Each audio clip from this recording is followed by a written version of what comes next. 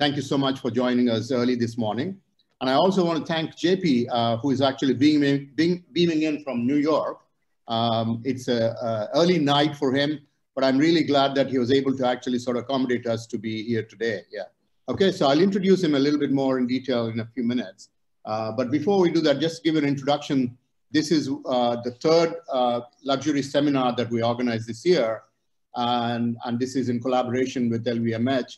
Uh, we've been associated with since 2014. So uh, JP has uh, come in about five years ago when he wrote the first book and it was incredibly well received. And so he actually came here, spoke at SMU and at LVMH Training Center.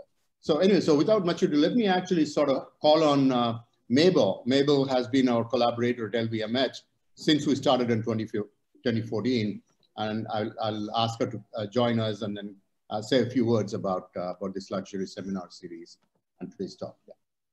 Mabel? Okay, thank you, Professor Reddy. A warm welcome to everyone, and thank you for joining. My name is Mabel Sin from the LVMH Learning and Development Team for Asia. We're delighted that there is very key, there's a lot of interest in today's topic from the LVMH community and also friends from the SMU network. The one hour will go by in a flash, and we do hope you will participate actively through reflection and also in the Q&A. If you're joining us for the very first time, I would like to take the opportunity to share about LVMH. The LVMH group comprises 75 exceptional houses that create high quality products and experiences. We are the only group present in all five major sectors of the luxury market. Wines and spirits, fashion and leather goods, watches and jewelry, perfumes and cosmetics, and selective retailing. And I'm sure we all have our preferred or favorite brands. The LVMH SMU Asia Luxury Brand Research Initiative was established in 2014 with the mission to develop thought leadership on building luxury brands in Asia. We believe in continuous learning to gain new perspectives, and today's webinar is one of which. I wish everyone a very fruitful time of learning and engagement. Thank you, and back to you, Professor Reddy. Yeah, thank you so much, uh, Mabel, for that introduction, uh, highlighting the collaboration that we've had for, for over six years now.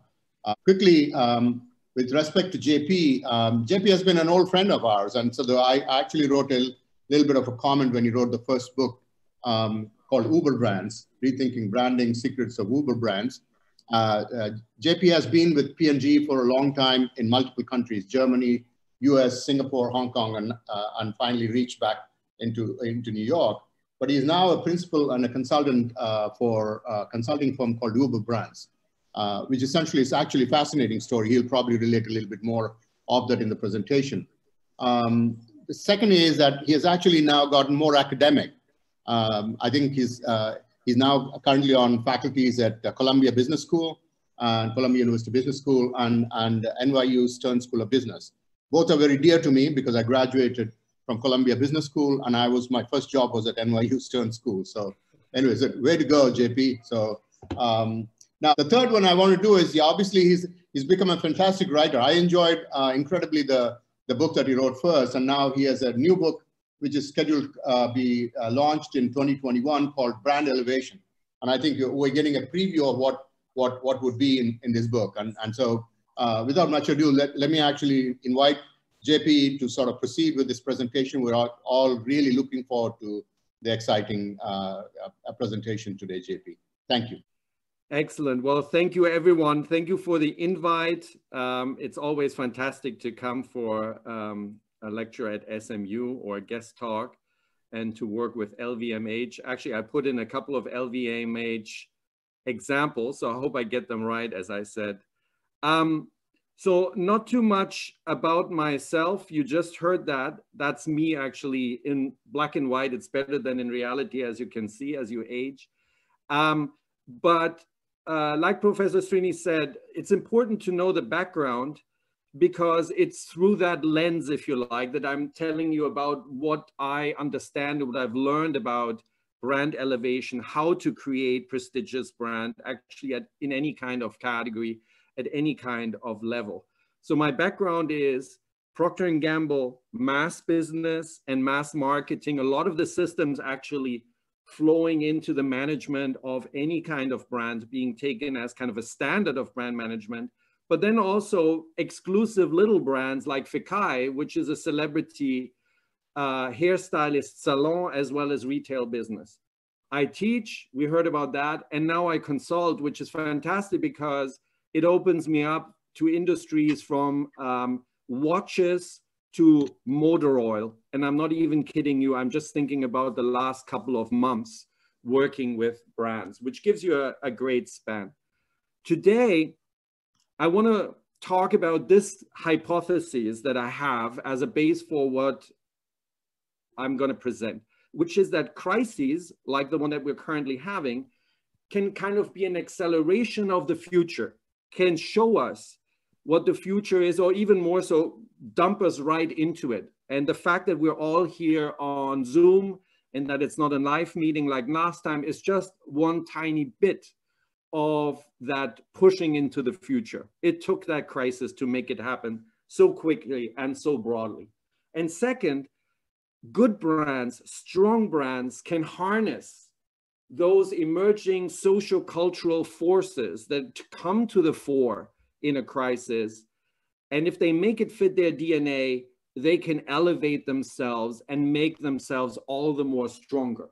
And that's kind of what I want to show here. How you can use in a way the crisis as an opportunity to make your brand stronger, or at its minimum, try to avoid that it dilutes your brand uh, and your business suffers. And of course, it's not only social cultural, of course, it's also technological and scientific advances. And we'll talk a little bit about that. But in this talk, I'm not going to focus so much on product, even though in the discussion, I'm very happy to open up on that. So the COVID crisis, how is it bringing us forward? Well, we see a big difference in how countries react and movements of trade and trends. Just um, in the introduction here, before we, we opened the meeting, we were talking about uh, at-home luxury shopping in China, uh, trends are being kicked off by the crisis. Industries are emerging and growing. Who knew about Zoom a couple of months ago? Now it's an incredibly valuable company. Amazon is going through the roof, okay, because it almost becomes the only way you shop right now, at least in the US. Um, e-sports, any e-entertainment, Netflix, etc. Uh, it's accelerating. And on other industries, you know, it's terrible, you know, for some hospitality, retail converts away. You know, buildings are transformed into apartments uh, and uh, into other venues, maybe offices, uh, rather than retail businesses, as we talk here in my place, New York City. And it's not necessarily a bad thing. There was a shortage of apartments, but definitely it is the crisis driving these trends. And that reminded me of actually that book that Professor Srini was talking about, which really was a product of the last big crisis that I experienced. Of course, there were many other ones, SARS and so on, when I lived in Singapore actually was hitting, or the tsunami. But one that I was thinking about in the context of branding was the Great Recession of 2008. Um, and what we observed back then when I worked in uh, P&G strategy was that the big brands, leaders of their categories, the kings and queens of their categories, like, for example, Budweiser beer, were losing, and they were losing out to little brands like these craft beers. And we found this trend all over the place. And these little craft beers and the little organic toothpaste and the little niche products that were growing, luxury, bubbly, mineral water, were so counterintuitive to us as a mass manufacturer and marketer because it was actually more eh, expensive. And how would that happen? This was the financial crisis, there were foreclosures, personal and private investment catastrophes, people were losing their homes, and of course, big brokers like Lehman Brothers and others went bankrupt how could it be? Plus, there was this movement by the quote unquote 99%, the disenfranchised, the people who were not participating uh, in the economic gain and who started to feel very exploited. They occupied Wall Street. They actually mocked brands uh, like the Adbuster movement and said brands are a sellout. They, all the economy is about is trying to push things to us at exaggerated prices and exploit us. How in this environment could brands grow? In the art field, the same thing, you know. Uh, Andreas uh, uh, uh Gursky here with this photograph of the 99 uh, uh, cent store. unlimited choice, but you feel, you know, caged in and the choice is, is, is not something positive. It's not positive freedom. It seems to you like it's an oppressive, capitalistic, you know, choice that is being forced on you. And people were feeling that way. And that's, you can see that in the arts. You know, I shop, therefore I am. Mockingly, obviously criticizing that we were defining ourselves by consumption. So in, in, in this big crisis, what we saw as marketers was, wow, either people are shopping very cheap products. So they go away from Colgate and Crest, for example, here when you're in uh, toothpaste and they go for the cheap store brands. But most notably, the very small, uh, like Marvis, for example, niche toothpaste from Italy uh, that are, you know, licorice flavored and cost three times as much as Colgate toothpaste. Those were the extremes that were growing. And that's where we asked ourselves, how come? How come these kind of brands, these little premium priced niche brands, or at least what we considered a niche, because they even have mini in their name, like here uh, in, in this photograph, the, the, the mini car, how come they're growing in this kind of economic crisis and situation?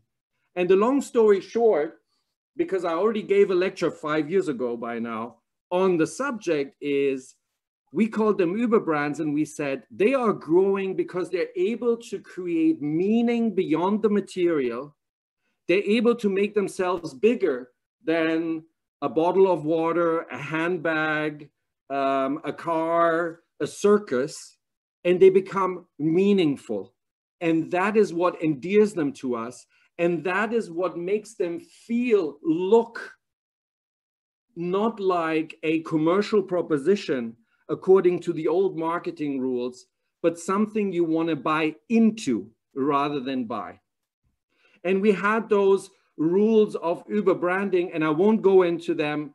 If you want to know them, then please read my book. It's still for sale. Uh, and apparently it's a good book, uh, we just heard. What I want to focus is on is that these brands were using ideas, but they were transforming them into ideals. And these ideals were uh, directed and oriented uh, and informed by what was going on. So for example, here you have Occupy Wall Street through the lens of a brand which is called Ben and Jerry's when I was in Singapore, it was very popular and also very pricey. I remember in the Singapore Zoo, you know, a little Ben and Jerry's um, hut there. This is a brand that has always been about peace, love, and ice cream. Literally, that is their logo peace, love, and ice cream. So it was just consequential that they would pick up on what disturbs the peace in this economic crisis, how is our DNA, how is our mission as a brand, how is our worldview as a brand informed by this crisis? What, how can we help? How can we do something about this crisis? And that's when they decided they are with the 99% and they handed out free ice cream scoops at the demonstration and they continued the fight. In 2000, uh, uh, uh, I think this was six, right, or eight uh, elections, they had an ice cream flavor called Yes Pecan. I don't know if that rings a bell to you in Asia as well, but there was a Yes We Can slogan by President or future to be President Obama. And so they could clearly sides also in the context of these social relations and improving social justice. So you can see here how this crisis led to brands embracing it out of their DNA. Another brand that is, has been doing fantastically during this time is selling not so cheap um, outerwear gear. You know, uh, I mean, in, in, in the end, there's tons of replacement for a Patagonia sweater. But of course, when you buy Patagonia, you're buying more than just a fleece sweater. You're buying into a whole philosophy about the environment, preserving it so everyone can benefit from it, um, you know, and trying to do your best to address the climate crisis as they actually call it out on their website. So you can see where this is coming from.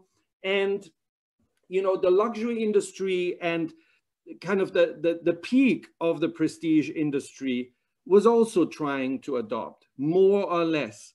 Um, here's an effort by uh, Tiffany's that started out a couple of years ago, which is to emphasize clean sourcing of diamonds and gems, clearly noticing this need, you know, to be environmentally conscious. I would say not as central maybe uh, an avenue as many other brands have taken, but nevertheless closely related to, to their business. So my hypothesis again is the best way to handle this crisis is to leverage it and integrate it into your brand elevation. And there are three elements of brand elevation that I want to talk about in terms of construction of brand elevation. And every time I'm going to show you how the crisis um, uh, is currently being dealt with by some brand in, in, in, in, in a good way, I think. The first one is this dream and this mission that we just uh, talked about. The other one is the doing. Uh, and then finally, the dare, uh, daring, even though each one of these is important to be truly distinctive as an elevated brand. So it's not like daring is less important than the doing. On the other hand, if you don't act on your mission, for example, on your dream, then it's worthless as well. So all these three have the same positioning. Let me illustrate. Louis Vuitton our guest here, at least part of the LVMH group, is all about life as a journey, the voyage, enjoying it, um, and contributing these uh, memorable pieces uh, on your voyage. Um, and uh, it, it, it, has this fantastic campaign of making voyage, uh, Le Voyage epic okay, which one of my favorites was the start with Gorbachev driving by the wall, uh, which shows, you know, how significant and meaningful, again, this is all about meaningful, trips can be. We'll get back to that. It is a very big trend right now. People want to escape. It's all about experiences rather than owning. So what nicer thing to package up, if you like, a, a piece of luggage into a much bigger thing. Here is Burning Man, one of the most sought after festivals on earth, probably, for sure in the US. Everyone who is somebody wants to go there, okay? And it's all about exploring yourself, living out your fantasies, truly showing your creativity um, and, and letting it come to the fore. And it's very playing exclusivity because there's limited amounts of tickets and you need to show your creativity to get the early ones. And for the rest of us, you need to have quite a bit of money actually to buy your way into it. You can reserve early. If you're lacking in creativity, you have to pay for it. Very good kind of premium brand approach here to do this. Um, and it is behind closed doors. It only happens there on the playa. You're actually not supposed to take any pictures, which makes the few that are being taken even more rare. And this is also this inclusivity, exclusivity play that we see with premium brands. So again, Voyage taken in a very different way, the expression of creativity. Here's Airbnb applying this, okay? This, this desire to be in a more meaningful environment than just a cheap room, uh, basically rented out by somebody who can't afford their rent and rented by somebody who can't afford the hotel. No, it's not like that at all. We elevate it and we say this is about people who believe that people should belong anywhere and it makes you belong anywhere and everywhere when you come to singapore and you stay in an airbnb you are not in some sterile hotel that could be anywhere a sheraton that might just as well be in tokyo berlin or miami you don't know when you wake up in the middle of the night because the rooms are all the same you have a sense of belonging. How precious is that? And how is that helping this company going for probably what's going to be the most expensive IPO yet uh, for startups in the US? It is individual stories um, and it elevates traveling to the next higher level. So now we're in this crisis. How would these companies react? And the sad thing is that they don't look at their dream. They don't look at their mission. They don't look at the meaning that they've built up, but they send you some emails that empathize with you. And it happens so much here, at least in the US. I don't know about Singapore, that, you know, comics were written about it. Oh, there's some brand that I didn't even remember I ever engaged with who just sent me an email that they empathize with me and they think about me. Okay? Not great.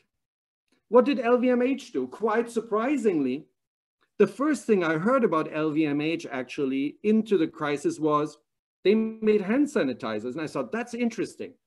Interesting for a luxury brand it seems a little bit risky to have hand sanitizers. That's a very utilitarian thing, etc. But important because empathetic. We're luxury, but we are not snobbish and arrogant. This is about lives here. We all need to pull together. So yes, we're transforming our perfume manufacturing to making hand sanitizers. But also very importantly, LVMH and Louis Vuitton brand in its journey didn't lose its journey, didn't lose the meaning of the journey, but thought about what do we do? Everyone's locked up at home.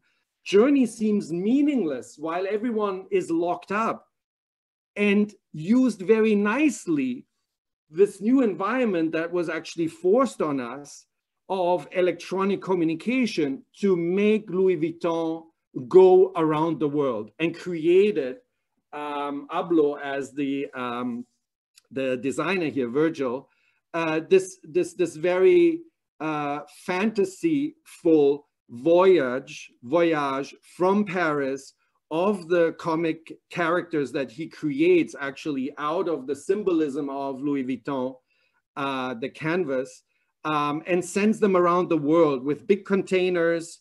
Um, and they go to Shanghai, they go to Tokyo, they travel, and then it's kind of mixed up with actual in-person shows. Um, and it becomes kind of a mixed fantasy reality, a beautiful trip. So here is a very fast but very consistent DNA guided way of translating your meaning and expressing your meaning during a crisis. Airbnb, just that other example, they were stuck. Obviously, nobody was traveling in the US, one of the biggest Airbnb markets. But they had this engaged host and uh, uh, uh, guest communities incredibly disappointed and came up with these online experiences on, okay, you can't come to France, you can't come to Napa Valley. Let us do a virtual wine tasting together order your wine online. I'm going to do it with you. I'm going to do Photoshop with you. I'm going to walk through Paris while you watch because you couldn't come over from the United States, etc. It became very popular and now it's a standing offer by this brand. So again, very much in line.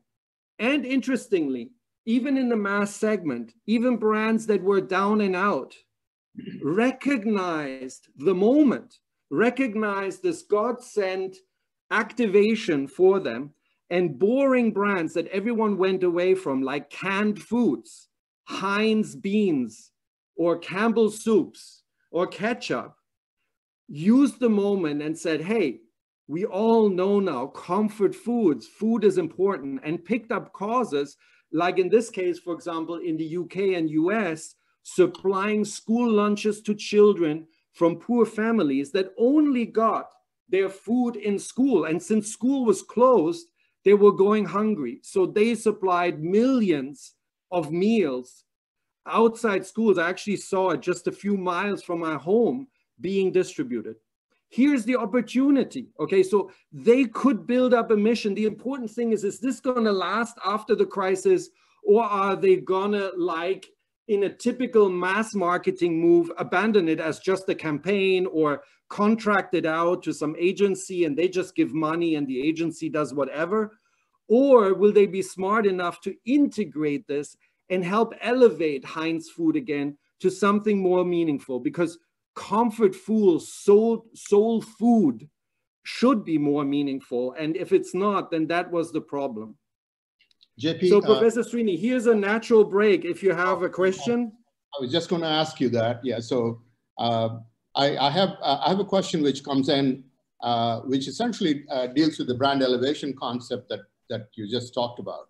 Uh, the question is, can all brands elevate? Okay, and I think there's a sub subtext to this.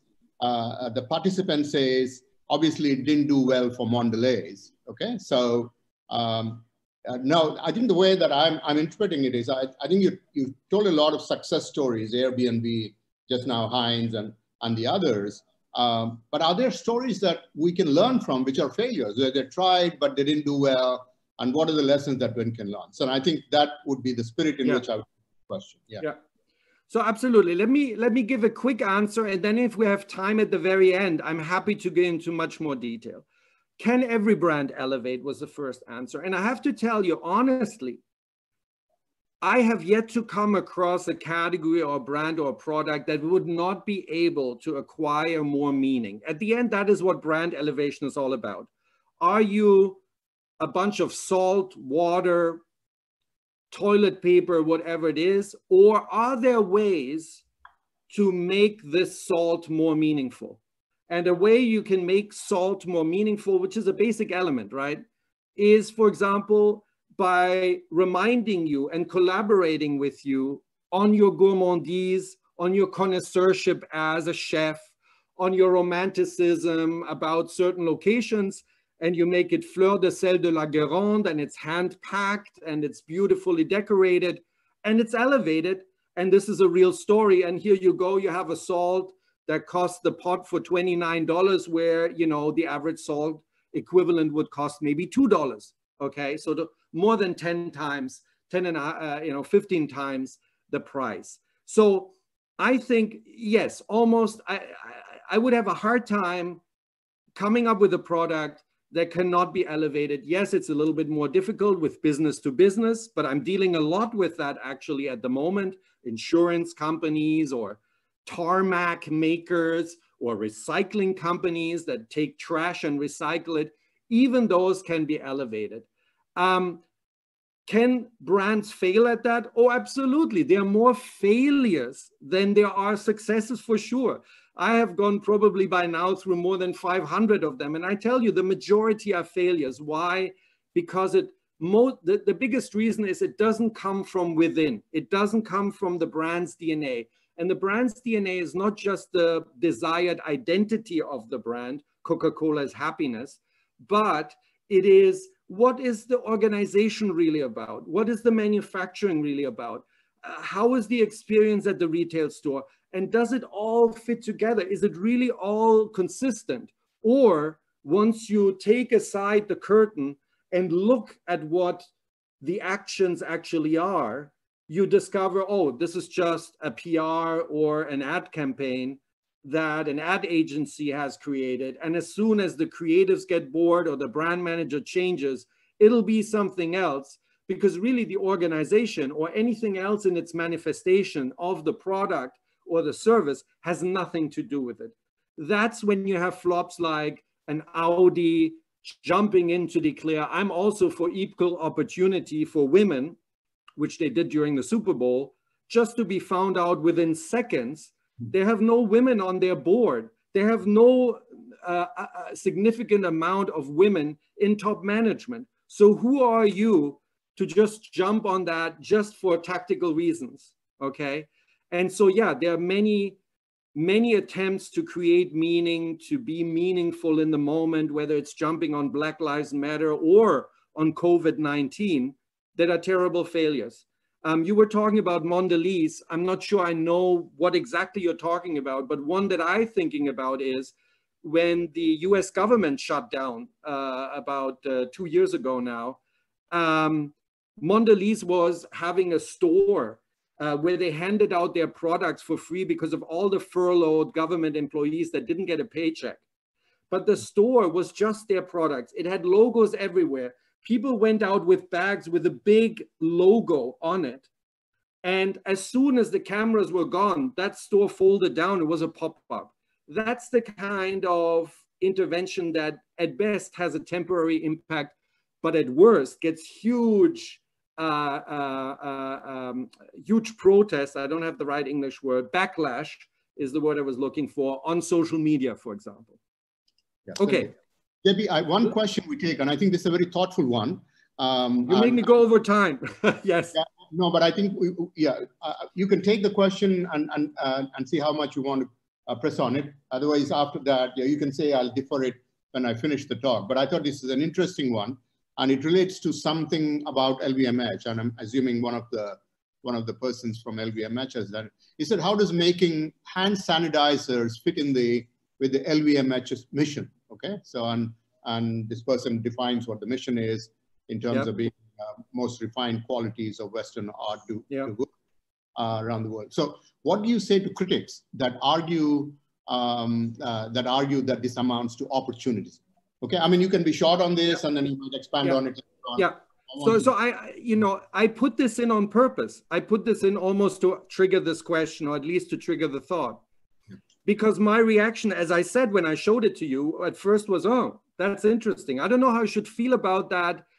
Being a, a, a marketing person, being a brand strategy person, my immediate reaction was kind of cringing. Okay, wow, LVMH, plastic bottles, you saw them, kind of generic hand sanitizer.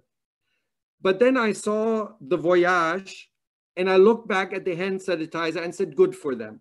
You know why? Because if there is a criticism of pure luxury, high end luxury, it is that it's taken to the level of arrogance and antisocial behavior. You know, luxury is okay that it can be afforded by everyone, that not everyone feels comfortable with it, etc. But it, when it gets to be condescending or even disregarding of life, then that's when it shows its bad part, right? Its darkness. And I think this was an excellent point to make um, that at the end, we're all humans and we make, of course, this human gesture. We can do it. I mean, there's alcohol available in these plants. That's what perfumes uh, is a key ingredient, right? It's, it's the majority of the ingredient. And there was a true catastrophic crisis in their own city around Asnières and the workshop, people were dying and hospitals were overflowing. If in that situation they would say, oh no, we need to plan our next fashion show, that would have been the bad thing. But it would also have been bad if they would then have started to sell Louis Vuitton hand sanitizer for $99, you know, in a chic leather. That would have been um, that would have been the bad part. That would have been the arrogant part. That would have been the the uh, I don't find the right uh, English word, but the, the the the condescending part. So the good thing was to do this, make it a separate effort. It's clearly identified. It's called LVMH, not Louis Vuitton. It's not branded in that sense, but it's a human gesture of this brand. It shows heart and it shows sympathy uh, that I think was a great move was a great it was one of the very first companies before the mass producers before procter & gamble even though procter & gamble has even more of the technology louis vuitton was out there. I thought it was it was great. Anyway. thank you all right. Sorry yeah so uh, uh, so let's proceed with the rest of the talk. Yeah I, I i come to the daring. I come to the daring first. The daring is about provocation is about what we are just talking about that tension you want to keep up and where probably the person who asked the question was worried about LVMH becoming too normal by having hand sanitizer and thus this tension being pulled apart. But my argument and the argument already in the previous book was we need to make it a more acceptable tension. For example, the tension of uh, being in the know and being a connoisseur versus not, rather than just, oh, I'm all of gold and and precious material and you can't afford it. That in today's concept uh, context to many seems like a too cheap, really, way of elevating yourself. And in order to create this daring tension, the concept of defining and finding and talking to and celebrating your Uber target, your muse as a brand is extremely important. And that's why I'm going to repeat what I did five years ago, but very quickly. When I say, who is this? And I ask usually the audience, you know, is their favorite color black or red? Are they male or female? Do they have a beard or are they shaven?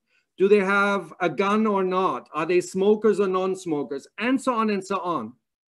They 99% around the world, every age, every geography, talk about that same person. It's a person. We believe in going our own way, no matter which way the rest of the world is going.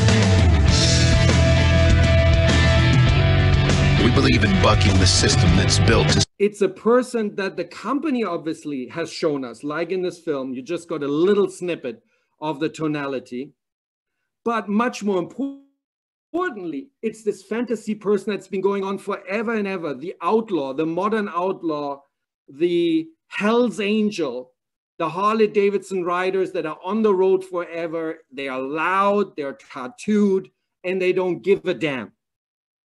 And their significance is that the people who actually buy Harley Davidson, yes, they include some of these people. They might make up 10, call it 20% of people who buy a Harley, but really, really the full price expensive Harley buyers, what they have in common is they are doctors, they are lawyers, are middle-aged men mostly who have a midlife crisis, and they aspire to be these outlaws, even if it's just for a short weekend, okay? And then they wash off the tattoo and it's over. And that is the difference between the Uber target, which is the dream, which is the dream that's being placated out there, the Dolce Gabbana Sicilian diva that's walking around, and the actual people who spend the money or who spritz on the perfume or who buy the Harley Davidson. And that is how you create this tension. You're part of it, but you're also a part. And it comes from a simple psychological uh, concept, which is we usually have several types of selves in ourselves.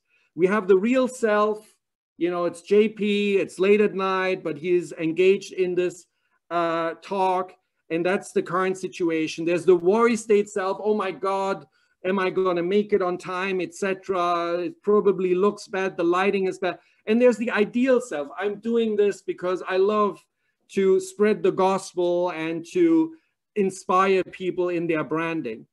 And we're constantly going back and forth, but obviously we like our ideal self. We might even have the fantasy self of being that queen, diva, or rocker or outlaw.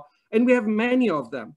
And that is what this concept of the Uber target is playing on. If you look at luxury brands in particular, but any kind of prestigious brand, they have this ideal self of you um, that you want to be. And of course, social media are perfect for that because we're playing the ideal selves all the time on that. So to the extent that your brand can become part of the ideal self, like here, Gucci changing room, where you can pretend to wear this dress, even though you cannot yet afford it, you are helping these people to live this ideal self. But the tension is there. They can't afford it yet. It's just a snap. It's just for the second. So this positive tension, this attractiveness is there. Let me give you a different rider. These are bikers, but not motorcyclists. There's the Rapha brand in the UK. Uh, I do road cycling. These outfits are extremely more expensive than the average, two, three, four times the price and it expi- it's inspired by um, Simon here, Mottram, the founder, who said, you know, I'm a middle-aged man, but you know, I've been successful, I've got money. I don't want to look like crap when I'm biking. I want to be a gentleman biker. And he longed back to kind of the 50s inspired gentlemen's races of the Tour de France. Rapha was a team, actually, Saint Raphael team, very short, uh, not very successful, but always very elegant. And so he's creating this gentleman's cycling club. and it's all very aspirational. And if you contrast it with actually cyclists like this bunch here hanging out, it looks nothing like it, okay? But it's the aspiration to be a gentleman in behavior, to be looking like a gentleman, to feel like a gentleman. And that again is this tension between the idealized Uber target, this gentleman biker, and reality. And if you put on some Rapha and it costs you a fortune, at least in feeling and meaningfulness, you are a little bit there. Okay. So how do we, how does the daring survive during COVID? Okay. If you look at Airbnb, interestingly, they have these Uber targets, they have these strong advocates, okay, that want to be hosts because they say, um, the most interesting quote actually on their journey to defining that strategy was visiting hosts and them consistently saying, Airbnb for me is one way to bring the world to me, the fascinating cultures to me, and be able to engage with them because I can't travel or I can't travel as much as I want to. And people going there said, for me, it's a great way to come to Pakistan on the bottom right there, or to China or anywhere and be really part of it. And Airbnb was able during this crisis to harness these people and came up with all kinds of initiatives based on the enthusiasm and the energy of these people. So, for example, some of their hosts said, okay, it's COVID, but I still have this apartment in New York. Actually, and now I moved out to the Hamptons to isolate, and there are all these nurses coming in. How can I give my Airbnb apartment to essential workers to help the cause? And within a couple of days, they established this essential worker Airbnb system where if you could prove you're a nurse or you're another essential worker who had to move, um, or needs to be isolated from the rest of your family so you don't risk to infect anyone, you get a free Airbnb apartment. And that was done together with their Uber target, with the most um, engaged parts uh, of their audience. And then they had other initiatives like the online experiences here. And they had also, from a functioning perspective, uh, monthly rentals. I don't want to go into detail, we, we can do that. But um, basically through their Uber target, creating um, uh, new endearment, new meeting, and even new sources of business. And everyone agrees that as soon as this IPO comes out, they're going to be the most valuable hospitality company and brand in the world, more than Marriott and Sheraton and Hilton and all the others combined. Okay.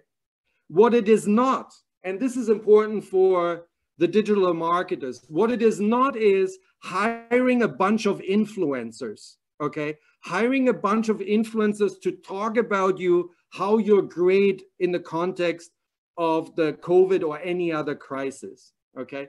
In fact, what I found funny is there were some influencers, particularly at the beginning of the crisis, who were like, I'm locked up at home, I'm bored because I can't hold up products anymore and unpack it's not what it's on people's mind.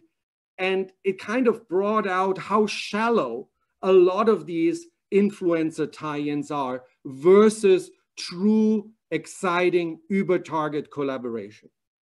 Okay, so the last part, again, there's none that is one is more important than the other, but without the doing, and as we've already through the questions established, the doing from the outside in and the inside out. So it needs to be both ways. All of this doesn't really work or is really short term. And I love Yuan, so I wanted to bring it up again. I know actually there are quite some fans in Singapore because they've got several stores where you have Yuan soap, which is a, a, a soap company from Taiwan. And what I like about them is that everything fits together. The story of the ad executive who had eczema, was totally stressed out, needed to retreat, quit his job, do Zen, and is basically reminded that his family and his culture um, has traditional Chinese medicine as a powerful tool to help him de-stress regulate his skin and get back to a normal life. And he learns about it. He learns about indigenous plants. He starts to plant them. It's in the Taiwan National Park. It's a beautiful place. I visited it and he brings his customers there. He employs former fishermen who've lost their job to become farmers. It's all handmade later in the quote unquote factory, which is really more like an atelier at uh, Louis Vuitton or Hermes, where it's hand formed. When you go to the store, you first are asked to do a tea ceremony just to calm down, get in the right mindset. And then, just like a Chinese traditional doctor, they would walk you through your symptoms. They would explain the herbs you need that are actually outside in the garden of the store. This is the flagship store equivalent. And then they would give you a prescription of not only soap, but toothpaste and laundry detergent and detergent for your dog and shampoo and conditioner and you name it and some tea and you walk out with $300 worth of household items that P&G would have sold you for 20% of the cost, okay?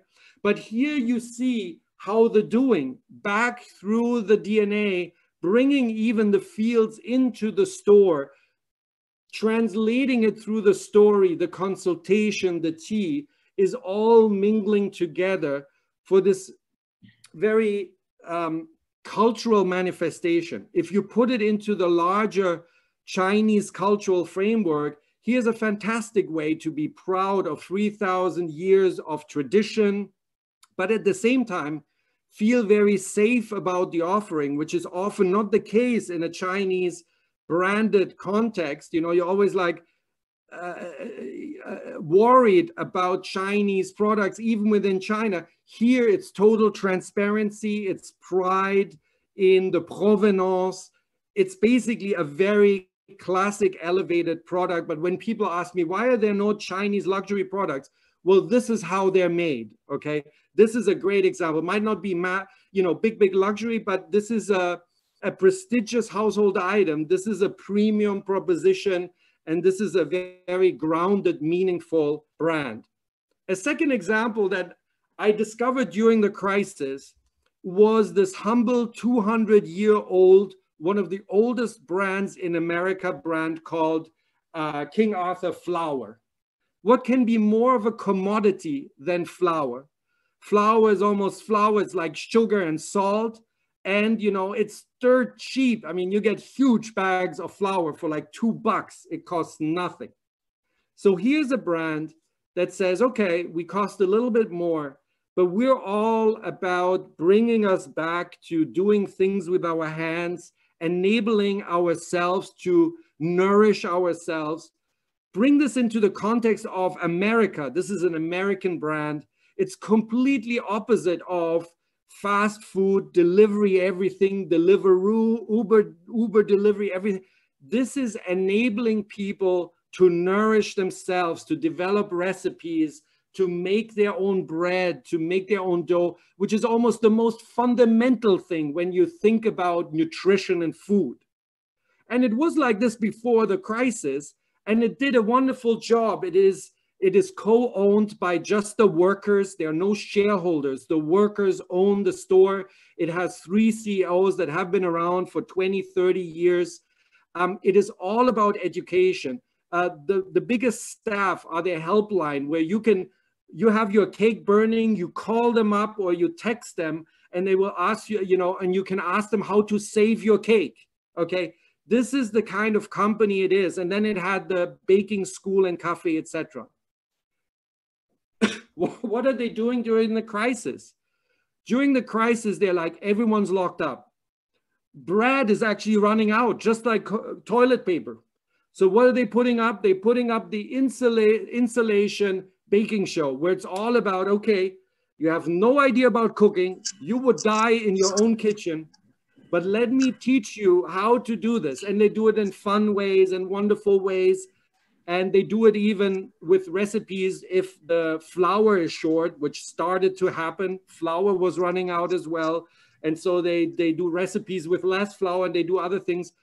Basically enormous amounts of people going to them. And you can see how this acquires meaning.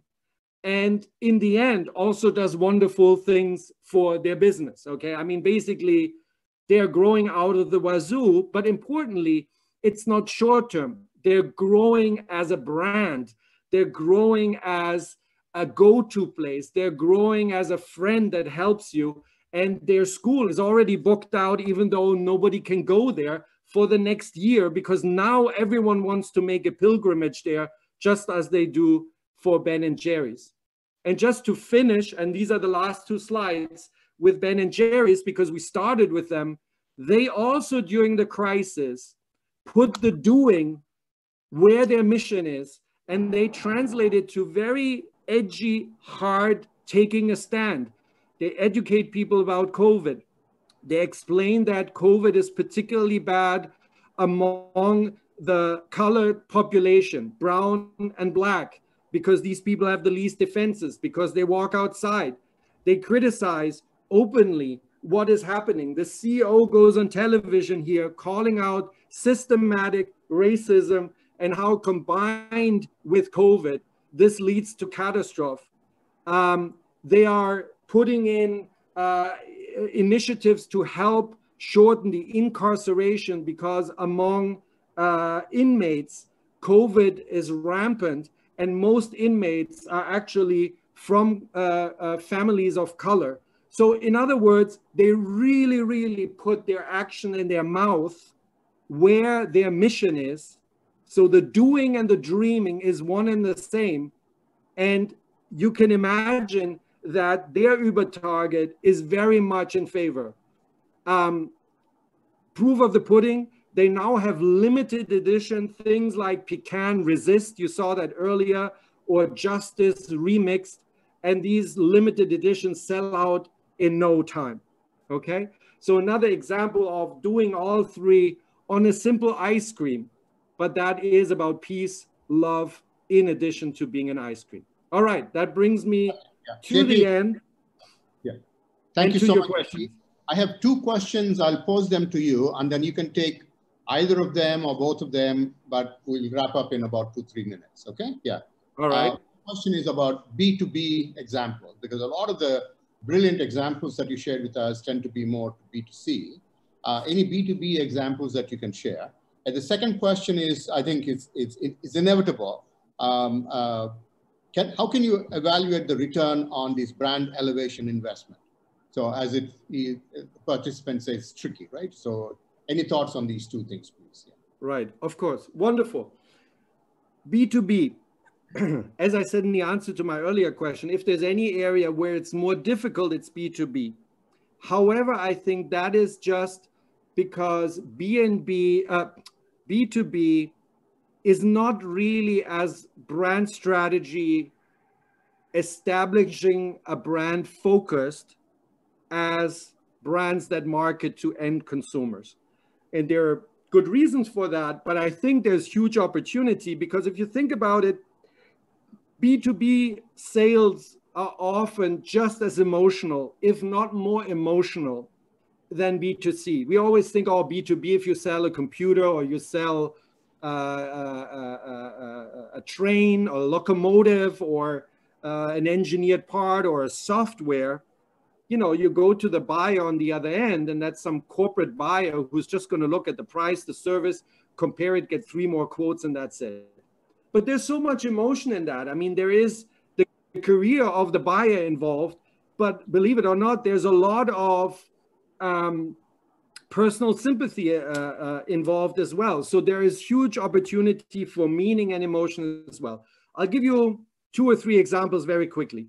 One very quickly, um, I saw a case study which struck me from a locomotive maker, and it was General Electric locomotives. And General Electric locomotives, um, there was the buyer, uh, sorry, yeah, the, the seller, sorry, of General Electric motor lo locomotives talking, saying that with the new campaign by General Electric, um, for the first time ever, his buyers of locomotives seek out their stand at trade fairs and come with their children. What had happened? GE had a series of making technology human and give it a human face.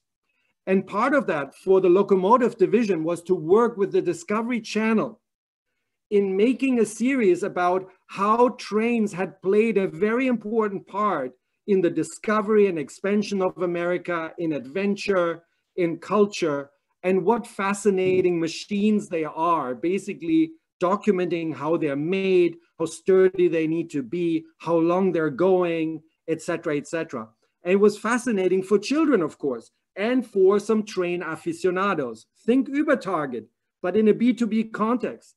And what happened here is one industry client then uh, gave this testimonial of, for the first time, my children turned around to me and said, Dad, don't you buy locomotives? And he said, Yeah, why? And they were fascinated about it, made them feel better, etc., etc. All of that to tell you, you can bring emotion, you can bring storytelling, you can bring elevation and meaning into almost any brand. Because we have very little time, just a, a second example, paper. In this digital age, paper should be finished, right? And in fact, what you see in the paper industry is that paper prices get cheaper and cheaper and cheaper because people are printing less and less and less. Um, and it gets ever more boring and ever more concentrated, like in so many categories. And so I have this one company, and this is all in the in the book. Actually, I'm talking about um, Mohawk paper in the brand elevation book. It's also on the website. Um, Mohawk paper said, okay, we're not going to play the cheap paper game. Nobody can win there. We're going to re-elevate it. We're going to go back to our tradition. And they make the most varied papers. They make papers from recycled cloth, which is an old technology, from recycled paper, from cotton. Um, they handcraft, uh, they have uh, different processes where they semi-handcrafted, uh, but it, it, can be very modern paper. In fact, they supply the biggest new uh, business card maker, Moo, M-O-O, uh, very hip among a lot of people with all specialty paper. And I said, so clearly this is a brand elevation story. They've transformed uh, one of their old paper mills into a paper experience center and their R&D center that you can visit. Their catalog, actually I have it here. Their catalog is not a regular catalog. Their catalog, in this case, it's a philosophy book that showcases different papers and printing techniques, but every time has a new theme, a new format, and these quarterlies, as they are called, are different every time, different formats, different colors, different papers, and they have become collector's item, just like, you know, Louis Vuitton books or whatever. And this is a industrial paper manufacturer, okay? They sell 90% of their business is to printers. And, they, and I said, in this digital world, can you survive? And they said, you would be surprised. Our biggest customers are actually from Silicon Valley because they realize that if you do Facebook and Zoom all day long, there's nothing more surprising, indulging, and wonderful than to have a physical paper to smell and look and read and hear and so we get a ton of business from them. And it comes through their education work and their beautiful manifestation of their product, which is a commodity, of course, industrial paper. Okay, just as two examples. Wonderful. Thank you for having me. Thank you so much, everyone. Thank you, Mabel. Thank you, all the participants, for coming in early this morning. Yeah. And uh, spending time with us. And JP, thank you so much again. All right. Have a good time out there in Singapore. Stay safe. Yeah, thank you. Thank you guys. Bye bye.